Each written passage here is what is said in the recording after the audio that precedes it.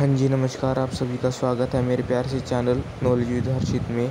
जैसा कि आप सभी को पता है कि हरियाणा विद्यालय शिक्षा बोर्ड में जिनकी 2020 या फिर अब जो सितंबर है, अब जो सितंबर एग्ज़ाम हुए थे, जिसमें जिसमें किसी भी बच्चे की यूएमसी बंदी, बनी हो तो या फिर पुराना कोई यूएमसी का केस हो तो उन सभी केसों की सुनवाई 28 सितंबर को साढ़े नौ बजे सुबह बोर्ड मुख्यालय यानी भिवानी बोर्ड में होगी।